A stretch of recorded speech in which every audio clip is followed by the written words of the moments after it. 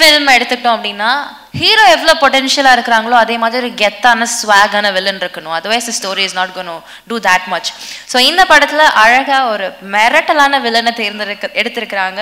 So up next I invite Raj Arjun அவர்கள் for a few words good evening everyone I feel so happy to see lots of journalists over here, and I genuinely thank you because because of you people we are here because you write for us, you see us, and then you say that we are capable enough or not capable enough. So we are thankful to you that you are here in the strength.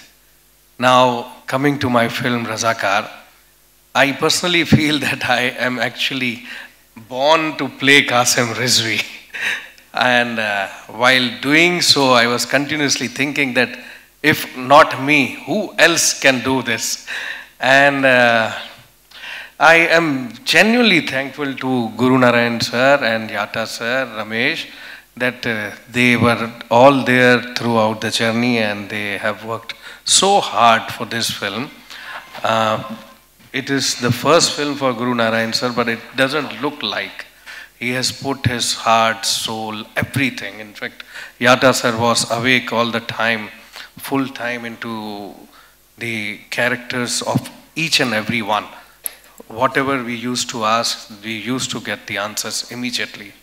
So I am proud that I am a part of a film.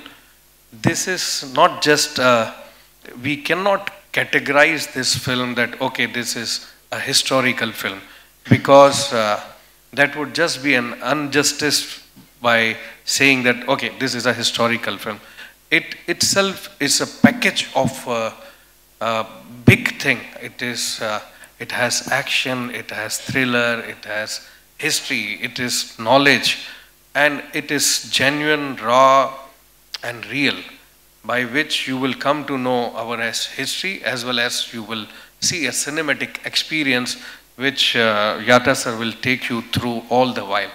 So I'm proud to be a part of this film and thank you so much for bringing me on board Yata sir, Guru sir, and everybody else. Thank you so much.